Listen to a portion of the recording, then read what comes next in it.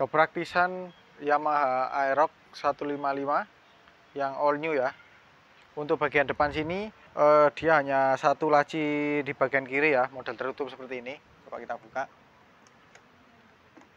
Nah jadi modelnya seperti ini.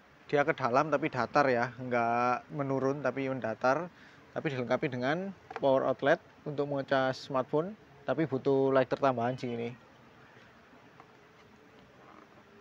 dan di sini tidak ada cantolan atau segala macam ya.